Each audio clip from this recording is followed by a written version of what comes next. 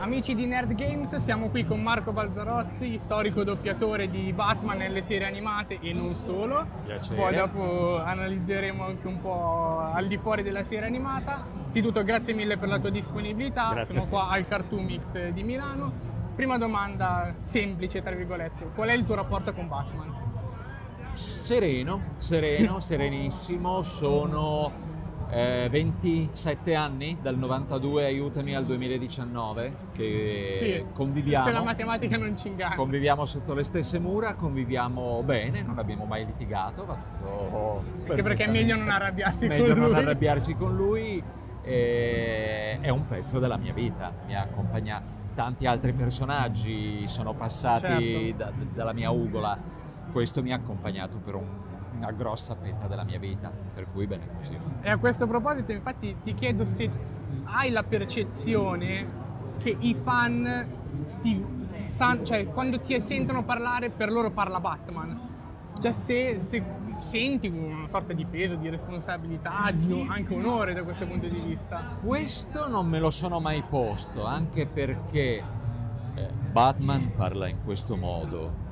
Quando tu fai un altro personaggio, che magari può essere tutto pazzo, questo per cui diventi un po' un camaleonte che si trasforma. Certo. E no, credo di no, credo di no che non ci sia questa cosa. C'è stata una preparazione particolare o ogni volta che ti appresti a doppiare il personaggio di Batman c'è una sorta di calo nel personaggio? Ma no, oramai viene talmente automatico che, che è anche piuttosto semplice, non, non richiede una particolare preparazione, diciamo. Certo.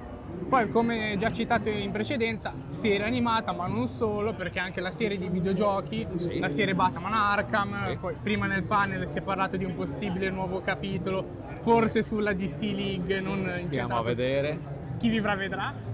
C'è una differenza dal punto di vista del doppiaggio tra eh, doppiare una serie animata o un videogioco? C'è una grossa differenza perché nella serie animata, se non altro, tu vedi il disegno, vedi le espressioni, vedi gli occhi, vedi la faccia.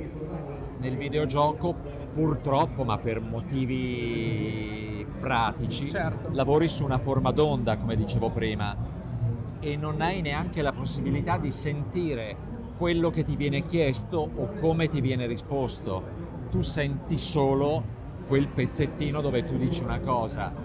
Per cui tu cerchi di scimmiottare, tra virgolette, quello che ha fatto il doppiatore americano originale, sperando che poi una volta messo insieme tutto perfettamente. funzioni. Praticamente voi ascoltate il doppiaggio originale, avete le battute. Ascoltiamo ma neanche il doppiaggio, la battuta. Ok. senza, senza sapere, per esempio, che ne so, adesso io ti dico sì, io sto bene, ma non so come tu mi hai chiesto come stai o cosa mi dirai dopo. Sento solo quel pezzettino in inglese Molto a scatola chiusa. e devo andarci sopra. Devo andare non su una faccia, ma su una forma d'onda che vedo su uno schermo. Chiaramente è molto più complicato doppiare un. Eh, sì, più che altro poi la resa finale uno dice ma chissà cosa verrà. Sento dire che poi tutto sommato il prodotto è gradevole. Quindi non hai mai avuto poi l'occasione di giocarci o di testare con mano? Io purtroppo non sono un gamer, sono ve- vecchio. Vabbè, Eh, quello non vuol dire. Mi è capitato di vedere su YouTube dei pezzi Certo. o di vedere mio figlio che ci gioca. A vo- vabbè, poi io di mio sono un perfezionista per cui mi rifarei sempre. In quel caso lì ancora di più, Certo. perché comunque è stato fatto in maniera asettica, ma non per chi, eh, diciamo, non è colpa di nessuno, si può lavorare solo in quella maniera. Solamente come- Chiaramente, come tu hai detto, il personaggio di Batman ti ha legato, ti lega tuttora alla tua storia del doppiaggio. Ricordi invece qual è stato il tuo primo doppiaggio, la tua prima volta in una sala di doppiaggio? La mia prima volta è stata nel 1982 in un telefilm della serie Quincy che credo non vadano neanche più in onda o se vanno in onda vanno in onda su Rete 4 di sicuro per cui si parla di una vita fa Emozioni al momento? mani sudate, terrore anche perché adesso è cambiato il modo di lavorare nel doppiaggio di solito si è da soli si chiama in colonna separata e tu non hai nessuno senti quello che è stato inciso, se qualcuno ha inciso prima di te e ti intoni, altrimenti sei tu il primo. Allora magari eravamo in 4-5 leggio, io avevo l'ultima battuta e dicevo ecco adesso sbaglio e questi mostri mi ammazzano perché devono rifare per tutto. colpa mia. Certo. Parlando sempre di Batman, chiaramente c'è una diatriba, possiamo chiamarla così, dalla serie animata al mondo del cinema. Sì. Per il mondo del cinema sono state fatte altre scelte. Ti sarebbe mai piaciuto vestire anche i panni al cinema o ti piacerebbe? Perché la cosa positiva diciamo è che Batman non muore mai, insomma ci saranno sempre Certo, certo, film di certo, Batman. certo. Ti piacerebbe Ah, se, se dicessi di no sarei bugiardo. Eh, è anche un fatto logistico perché io purtroppo vivo a Milano e il cinema è tutto a Roma. Eh, ora le, la- la le serie di Batman sono a Roma e io eh, quando c'è bisogno di me vado.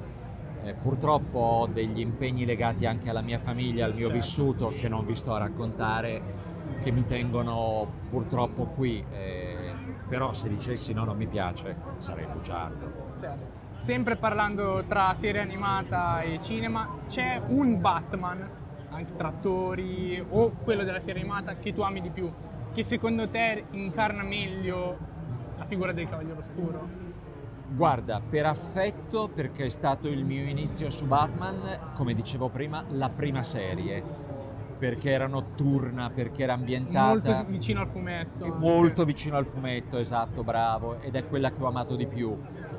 Ultimamente capisco si sta un po' raschiando il fondo del barile per cercare nuove avventure, eccetera, eccetera. Affettivamente per me è proprio la prima serie. Quando hai avuto l'idea o la voglia di fare il doppiatore? Cioè, com'è nata?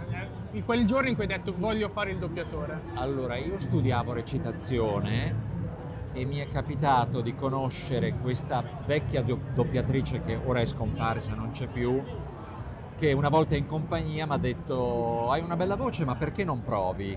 Erano gli anni Ottanta, erano gli anni in cui c'era un sacco di lavoro, erano gli anni in cui probabilmente anche se all'inizio non eri tanto bravo ti davano delle seconde possibilità, un po' per volta dai piccoli personaggi siamo passati a quelli grandi e dopo 37 anni siamo ancora qua. Alli- siamo alle- alle- all'icone adesso. Siamo addirittura, ma no, siamo Beh, ancora qua, dai. Per- sì, te lo, te lo dico tranquillamente io, Va siamo all'icone.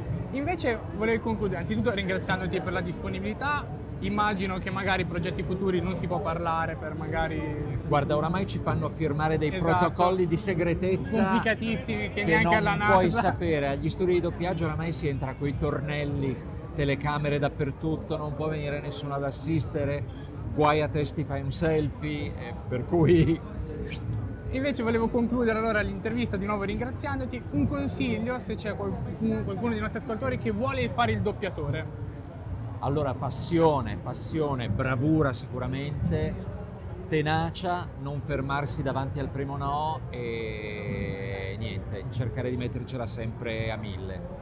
Perfetto. So Marco. che è banale, ma è così. Perfetto Marco, grazie mille per Grazie la disponibilità e buon proseguimento. Grazie. Grazie mille.